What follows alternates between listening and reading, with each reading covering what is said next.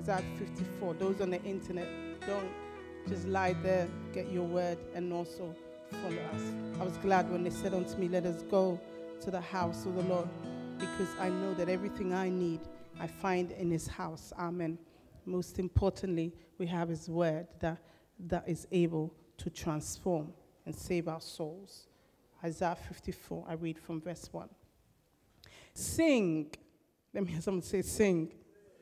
Barren woman, you who never bore a child, burst into song, shout for joy, you who were never in labor. Because more are the children of the desolate woman than, than of her who has a husband, says the Lord. Enlarge the place of your tent. Stretch your tent curtains wide. Do not hold back. Lengthen your cords, strengthen your stakes. For you spread out to the right and to the left, your descendants will dispossess nations and settle in their desolate cities. Do not be afraid, you will not be put to shame. Do not fear disgrace, you will not be humiliated. You will forget the shame of your youth and remember no more the reproach of your widowhood. For your Maker is your husband, the Lord Almighty is his name. The Holy One of Israel is your Redeemer. The Holy One of FCI is your Redeemer. He is called the God of all the earth. Let me hear someone say, Amen. Beautiful scripture. And as I waited on the Lord, the Lord gave me this word to share, and we're going to pray into it. Isaiah, you know, sometimes I do say that I is one of my favorite prophets. I love the prophet Isaiah because I, I, admire him so much. I love the way the Lord or God used him so mightily. A messianic prophet who prophesied into his day and into the future. And in Isaiah chapter 54, and Isaiah mainly is written for Israel in captivity when they were in Babylon, and most of them was written to the exiles, those who were in exile and also going to exile. And so Isaiah was speaking to them, uh, Israel. And I love the Lord because this word is for you and I today. So as he speaks to us, FCI, he uses Isaiah chapter 54. And of course, he says, sing. Isn't it amazing, actually, that we've just had this wonderful, God bless you, choir. You guys are going somewhere. Amen. Look, we just watch this space. Look forward to the day when I'll be doing a duet, you see. The choir will go even higher, yeah? I'll take auditions of those who duet with me, yeah? Somebody is trying to bribe me that they'll be the one, so let's see what the Lord will do. But we've had this wonderful, wonderful um, um, songs that we were singing, and all these songs are prophetic. They're not just songs, but we use this as prayer to God. And we were telling our souls and commanding our soul to worship our Maker regardless. And Isaiah does the same. He says, Sing. Sing is actually a command. Do you understand? When you hear that it's a command, anything that's a command means that you have to do it. It's like a military term. And so he starts his chapter in 54 with saying, Sing, barren woman, you who never bore a child. Then says, burst into song, commanding you, burst into song. Then he says, shout for joy. Watch the difference. And it's like I said again, it's no coincidence that we're singing this song. Because a lot of times the devil tries to steal our joy. That's his job. He does. Because when he steals our joy, he's got us, basically. The Bible clearly does say the joy of the Lord is our strength. And God expects us eternally, and Pastor told us, to have joy. It is not about happiness, which I, uh, we hear the definition of happiness meaning that when something happens, it makes us happy. So it's, it's connected to events. Do you understand? But the thing about joy is that the Bible talks about the, the, the, um, the what you call the fruit of the Spirit, and joy is in it that we must always have joy. And so we want to pray to God today that we will have that joy. And Isaiah is speaking to them before Christ, obviously, before the Lord Jesus. And he's also speaking to them at a time where they're in captivity. Hello? Have you ever heard of somebody who's in captivity singing for joy? Uh, I haven't.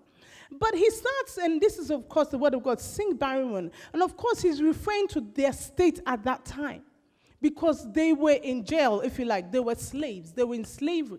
And so, but at the same time, he's saying, you're in slavery, it's a time for you to cry and, and mope around and all that.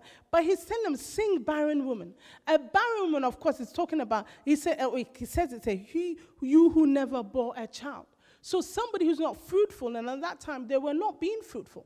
But he's telling them, regardless of your state in which you're in, you do what you sing. And remember, I started by quoting It's Habakkuk, isn't it? That says, when there's no sheep in the pen and, and where there's no grapes, I think. when the fig tree, thank you. When the fig tree does not uh, uh, blossom, yeah? And then it talks about when there's no sheep in the pen and when the wine and there's. So what he's saying is that when things are not going smoothly, he concluded, and this is before Christ, he says, Yet will I praise him. And again, Isaiah is telling them before Christ, sing. You are barren, but sing. You're not being fruitful, but sing. And God is telling you and I that regardless the situation that you're in at the moment could be barren. You could see that you are not producing. You can see that you're stuck. You can see that things are not going the way it should be going. You're expecting God to come through in many ways, but it's not happening. But He's telling you, commanding you to do what? To sing. You sing the song if you've got a voice like mine, which says, Let it be a sweet, sweet sound in your ear. Was I singing? Sing all the same. So it's a command, he's saying. As you never bought child, he says, burst into song. People burst into song when they're joyful. Hello? You know, like you don't see anybody who's miserable that bursts into song. But God is telling you and I that even if we're miserable, we shall burst into song because we are not like everybody else. He doesn't call us to conform, but He calls us to be separate. And so, normally, when things are going wrong, it's not the time that you sing. But He's telling you and I that we are no ordinary people, we are separate. And so, it's time for you to burst. Tell your neighbor it's time to burst into song. It's a shout for joy. Again, another command. Shout for joy, FCI. Shout for joy, Dorothy. And you tell yourself, shout for joy. Regardless of what's going on, and Dr. Haygood taught us very well about victory. For we have the victory. Even when it doesn't seem like it, we have the victory. Victory is ours.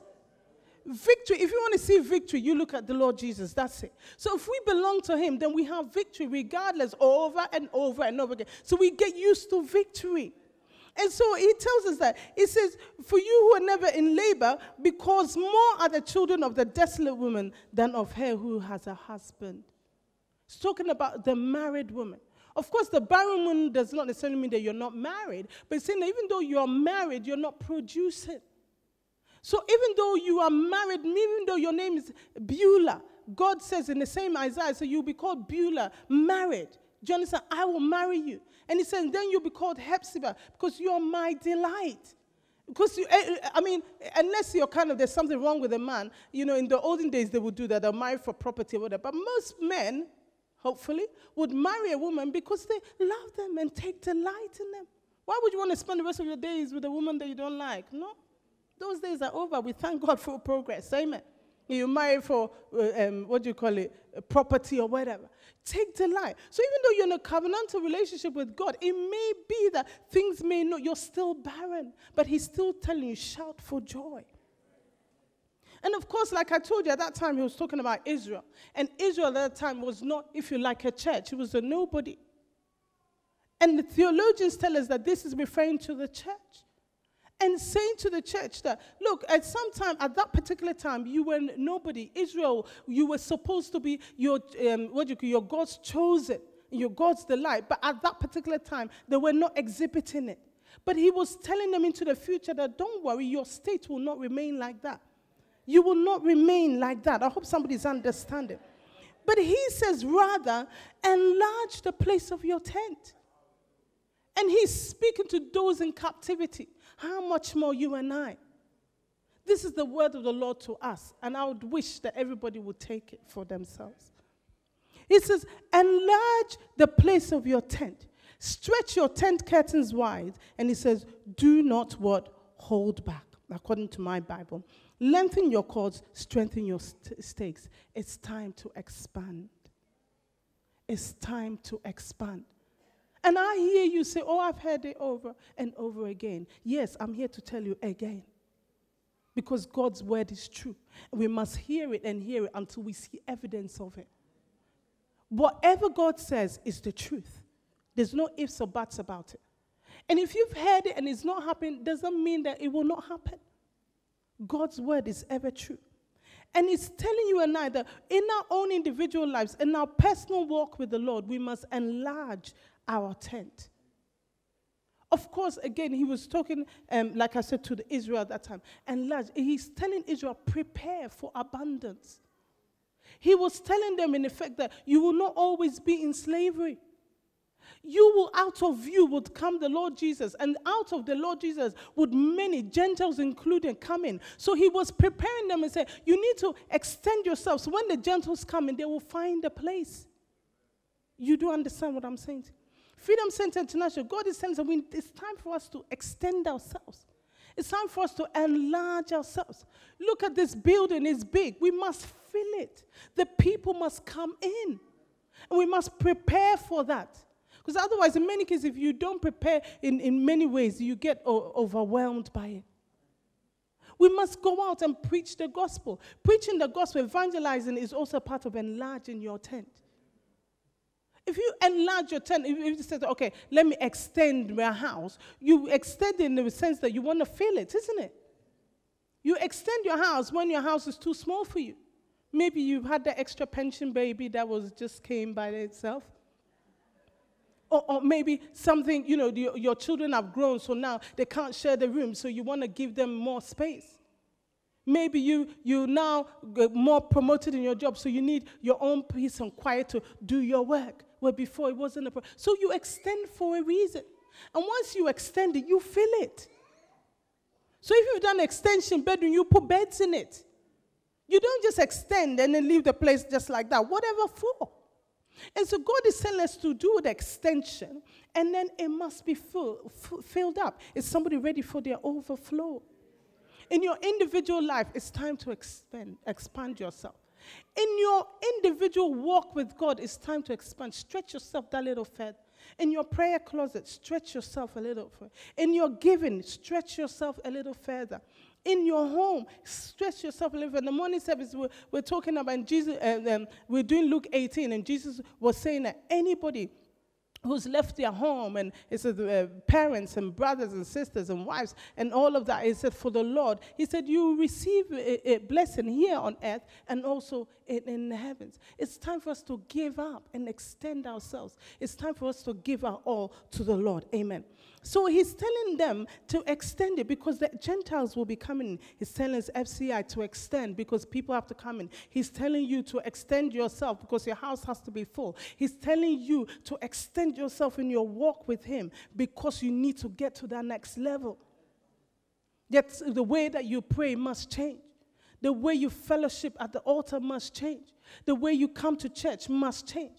The enthusiasm for the things of God must change because God has instilled in us growth. And the boy Jesus grew. Even God grew in wisdom. He didn't just grow in the physical, because we could have said, just like we have a child, before you know the child is growing, and before you know the child is, hello, mom, looking down on you. In the physical, he grew. But even in the spiritual realm, he who is God grew. Oh, did you not know that? The Bible said so. It said, and the boy Jesus grew in wisdom, in stature.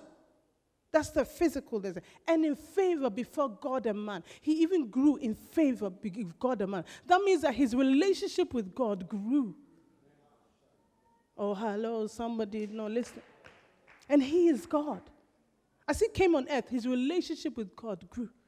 Grew. He, he started having fellowship. From time to time, we read the Bible. And one day I'm going to study, they say that as his custom was. You see, that's how the scripture will say, as his custom was. The Bible will then add, he will withdraw from the crowd. Or as his custom was, he will go to the festival. As his custom was, he will pray, separate himself. All those things brought about growth. And so he was enlarging himself so that he could fulfill destiny. Saints, we have to enlarge ourselves so that we might fulfill destiny. I hope somebody is understanding.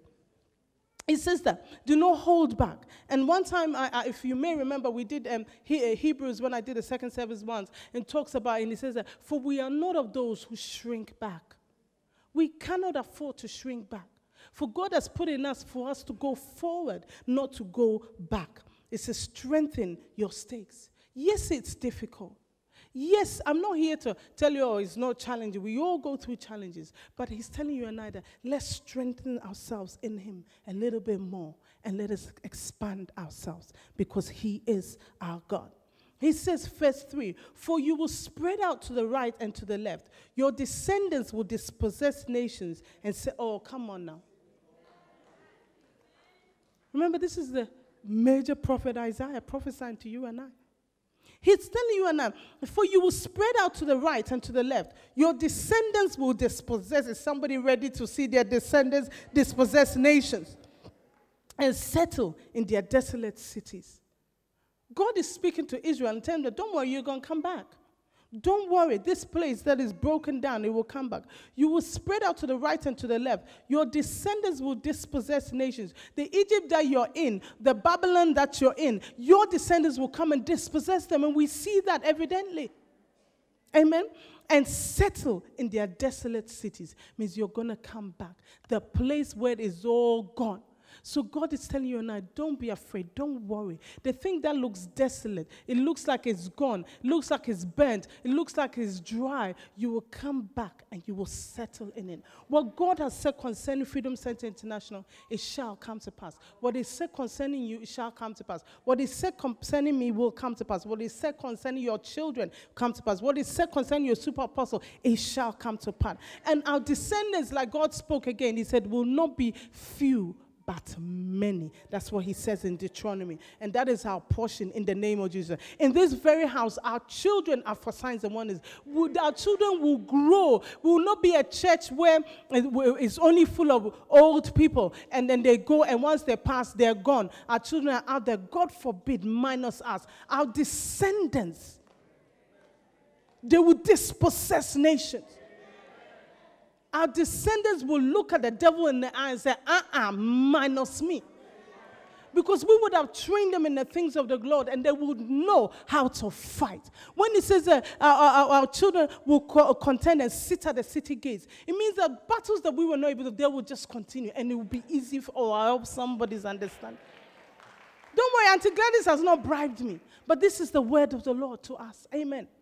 We must ensure that our children are for signs of wonders. Amen. That our descendants and those that come after us, including our spiritual children, will dispossess nations and settle in desolate cities. When you raise up a child out of your own bowels or womb, and out of uh, and also your spiritual children will be able to take territories in the name of Jesus. Do not be afraid. You will not be put to shame. Do not fear disgrace. You will not be humiliated you will forget the shame of your youth and remember no more the reproach of your widowhood. Again, he's speaking to them. Do not be afraid. Of course, they were fearful because they're in slavery. The Babylonians were a wicked people. And so Nebuchadnezzar was yamming them, somebody's English. He was mashing them up and, and turning them up and down. And so they were in trouble. Of course they were. But God was saying, Don't worry. He said, You will not be put to shame. What does the word of the Lord say concerning us? Don't worry. You know, at work, they're plotting against you. It looks like they're going to put you down. Do not be afraid. Do not, you will not be put to shame. Why? Because you call on the name of the Lord. The prerequisite for one of the benefits of calling the name of the Lord is that shame is not your portion. The devil cannot look at you and say, Shame, shame, shame, everybody knows your name. No. Shame. As we teach the children, no. He cannot be able to look at us, Freedom Center and say, Shame. No way. He cannot look at you in the face and say, Shame. But rather, we will look at the devil and say, Oh, shame. Oh, somebody with me. You look at the devil square now and say, You tried it. Because that's your job. But you didn't get me. Oh, shit. Is somebody afraid to do that? You guys are afraid? Don't be afraid. Just say to the devil, Oh, shame. Shame, shame, shame. Everybody knows your name. Hallelujah. You will not be put to shame. Do not fear disgrace. You will not be humiliated. He says, You will forget the shame of your youth. You know, when Israel came back, they forgot the shame of their youth. What he was telling is that right now Israel is in, is in ruins. Right now the temple is desolate. Right now everything is gone. People, those who were left, were looking at the ruins and saying, Oh, what's this? The, the Egyptians, the Babylonians, all of them were going to Israel and laughing at Israel because they were looking at the way everything was out. Where's the gold? Because Nebuchadnezzar had taken the gold. All the ones that came after, they took the silver. They robbed the temple. The temple was full of gold and silver and They, they dug up everything. They took the vessels on the altar, the holy things, they took them. They went and used it for their gods. They did all manner of things. The whole thing was broken. The walls was bent. There were no people of worth in Israel. When Nebuchadnezzar came, that's why we have the book of Daniel. He came and took the, the noble people of Israel, the royal. When they took the king, they took him in chains. So they were a people down, gone. Every enemy was laughing at them. But God spoke to them and said, Don't you worry. You will forget the shame of your youth. And we know that Nehemiah and Ezra and all these people came and they rebuilt the walls, they rebuilt the temple. And what do we know about scripture? That when everything was done, everything was done to the glory of God. That temple was restored in beauty, in glory, in honor. The power of the Lord hit that temple and everybody was restored. But so they did not know. Those who were crying were crying. Those who were uh, laughing were laughing. Those who, uh, the mixture of emotions. But everything went to the glory of God. When your time comes, you will not know whether you're crying or laughing. Have you ever had that before? You can't work out. Asked, what's, what's up with you? Are you crying? I don't know. I'm just, I'm just, oh, I don't know what to say. That's your portion. That is your portion. When the Lord comes through for you, and He does come through, and He will come through, you'll be like that. This same during the time that when in, in, in, um, in I was about to say in Australia, in Babylon, somebody wrote a song. In Psalm 126, he said, When the Lord turned the captivity of those in Zion, they said they were like those who were dreaming. Oh, somebody needs to dream. You see how God is so amazing and how the scripture all fits together. The psalmist said, They were like those who were dreaming. And he said, And laughter filled their mouths. Somebody needs to receive their Isaac. For Isaac means laughter that Sarah would laugh and laugh again. Somebody needs to laugh and laugh again. And don't despise this word, because somehow I can feel somebody like, mm, let go and allow God to do something. They did not forget their shame. And even now, if you go to Israel, they carry themselves with such, I don't know what the word is, with such confidence we, they carry themselves. You see a Jew, the way they move, even, you know that one is a child of God. They have it inbuilt in them. They carry themselves differently. Go to Israel and see. Even the, some of them are Messianic Jews. Some of them don't. Most Jews don't even believe in Jesus as the Messiah. But they know and understand that they're children of God. So they carried themselves because they are the chosen one. Have you ever seen one princess or one queen or something going like that? No, sir. Carry themselves with confidence. And they forgot the shame of their youth. They forgot that time. So I want to prophesy to you that you will never remember the shame of your youth. You will not remember. You will not remember. You will, oh, come on, guys. Let's do this together. You will not remember. When there's been so much pain and hurt, sometimes you wonder to yourself, would I ever let this pain go? We all have testimonies. It's one pain I went through. I, now, I, I, when I talk about it, I'll be laughing. How so? At that time, I was once so miserable, crying, my heart full of pain. But now, even if I do remember, it's always filled with laughter laughing at situations. I mean, come on. Have you ever heard somebody, somebody that, that like pastor was laughing like his mother died? Remember he told you the story?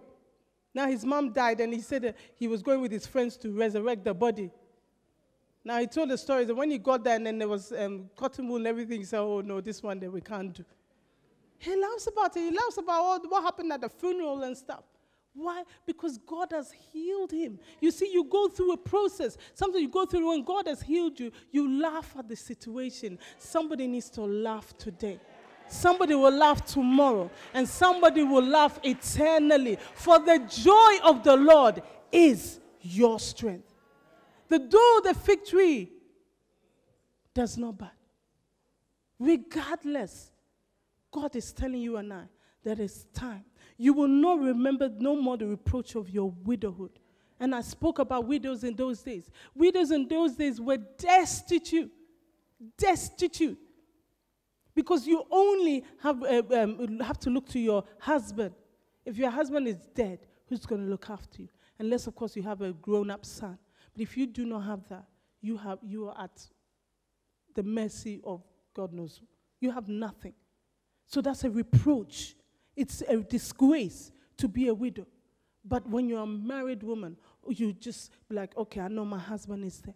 But God is telling you and I that we will not. Every reproach, I prophesy that everything that's a reproach. Anything, a reproach is something that does not allow you to lift up your head properly.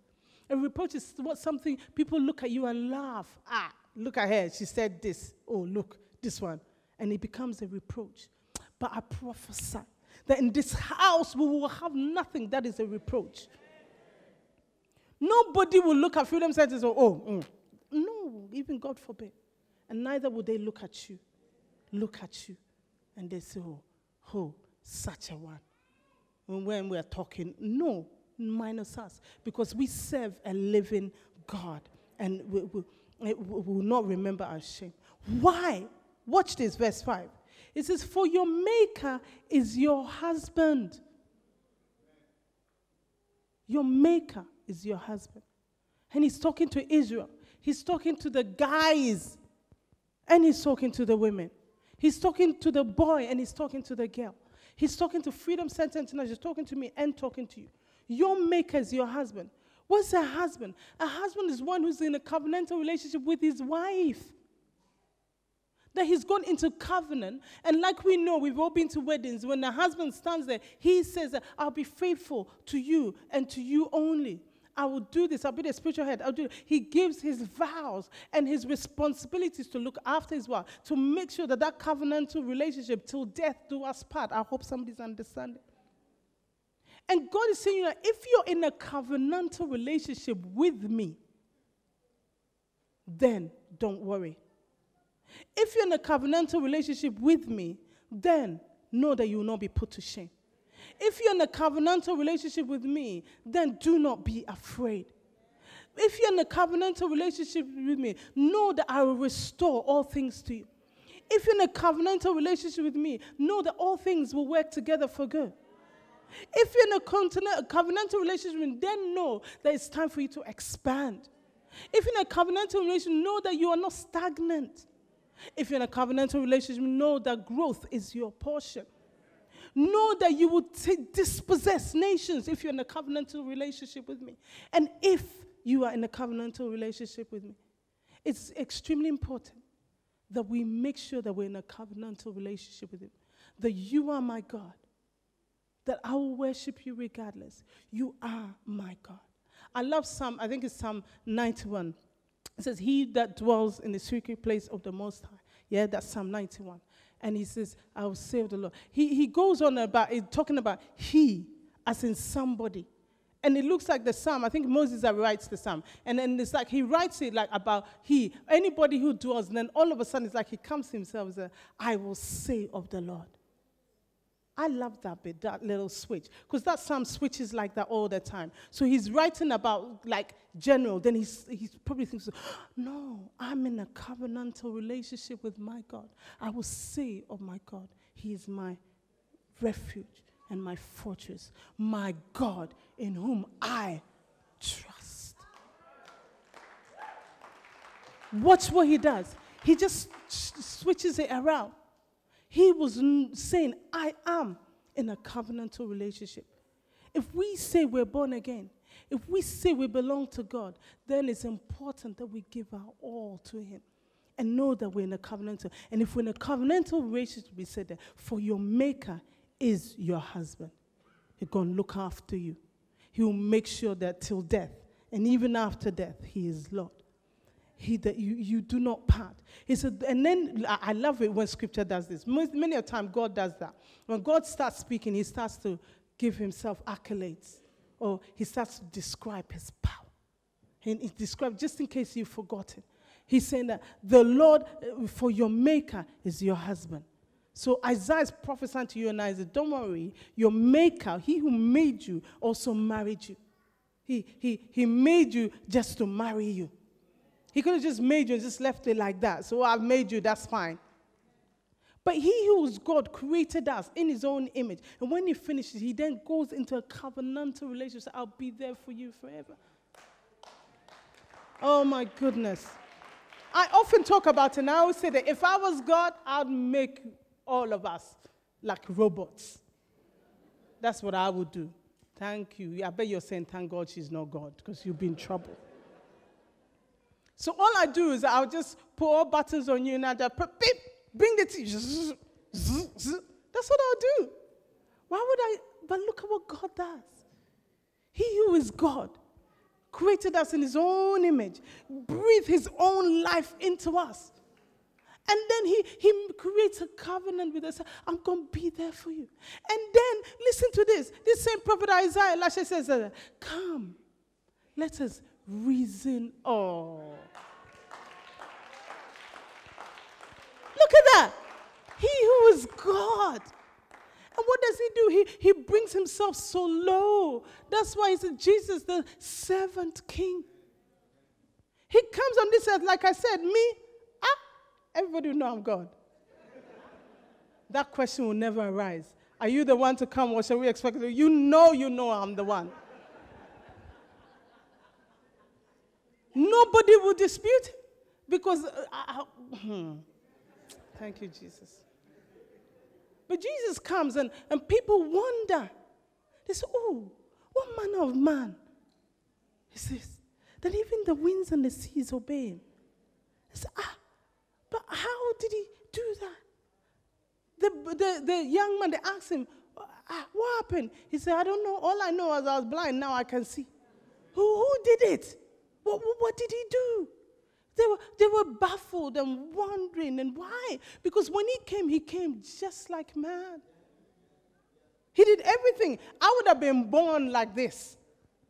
As soon as I came out, my mother's would say, Hey, mom, how you doing?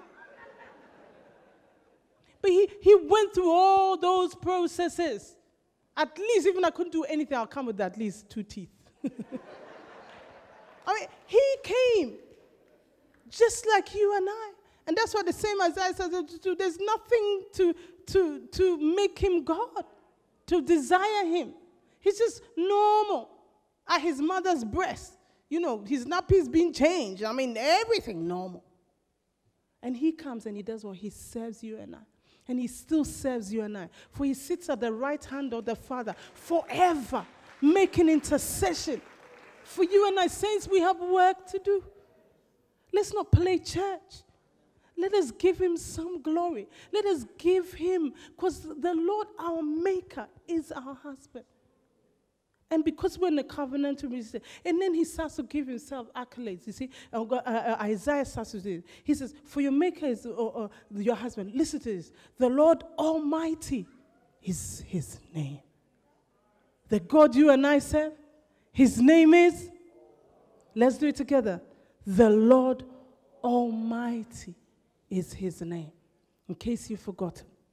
Then he continues The Holy One of Israel is your what? Redeemer. To tell you, to remind you, he's paid the price already. He's bought you with the precious blood of the Lamb. Peter puts it this way, but not with perishable things, not with tomatoes or gold or diamonds, even one of my diamond rings, diamonds dropped out. Gone. It's true. I mean, diamonds meant to be precious stones. I'm just looking say, ah, if you see the way I screamed, gone till I find another one. And these ring stories, yeah, I like them. Is the second time. The first time it happened, I was on a flight to Ghana, and I was just there, and I looked at my ring, and I, and I screamed. And the woman next to me said, "Of course, she was startled." And she said, "What happened?" I said, "Oh, my ring." The woman just, I'm like, "You don't understand how precious this."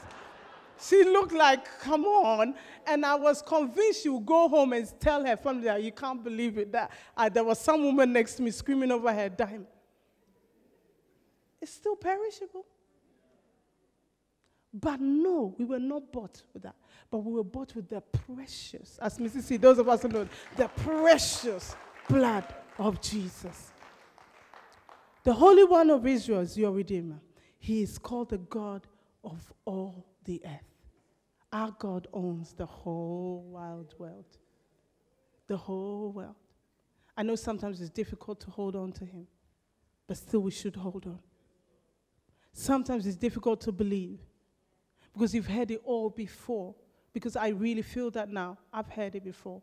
I've heard it before. But you must hold on.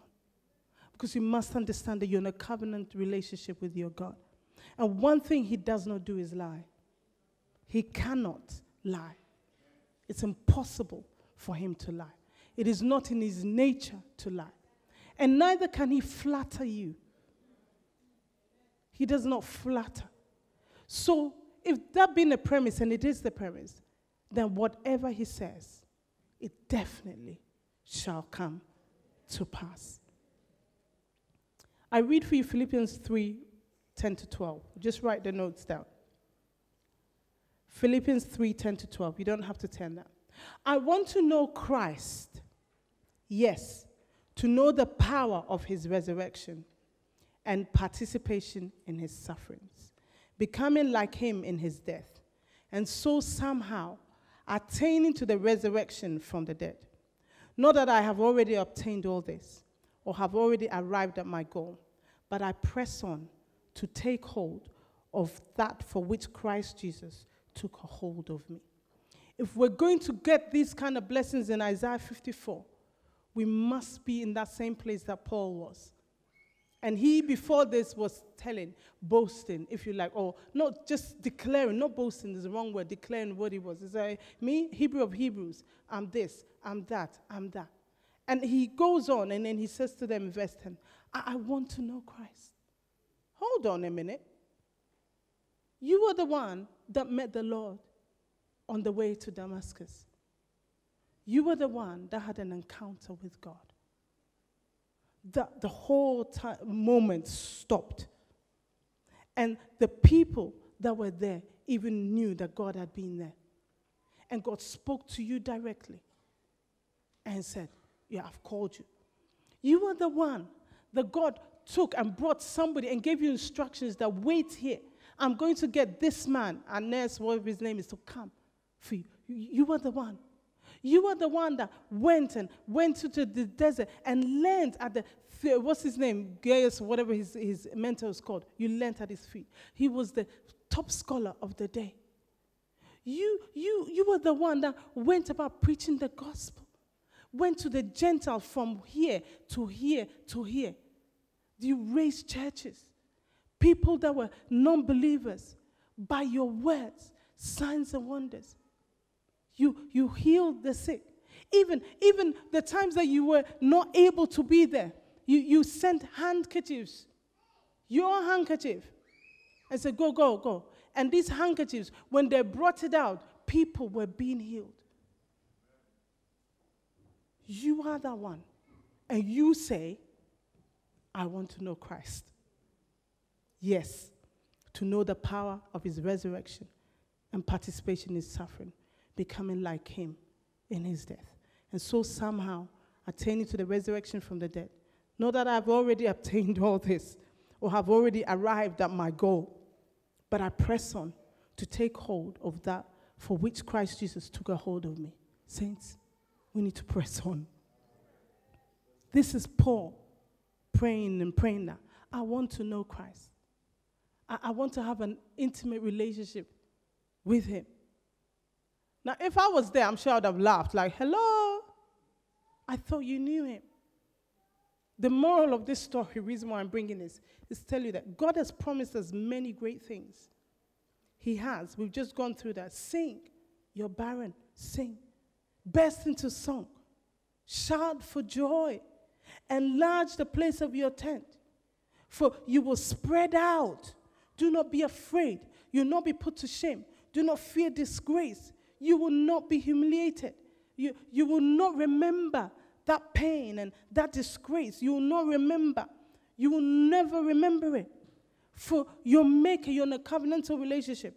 The Lord Almighty is his name. The Holy One of FCI is your Redeemer, and he's the God of all the earth.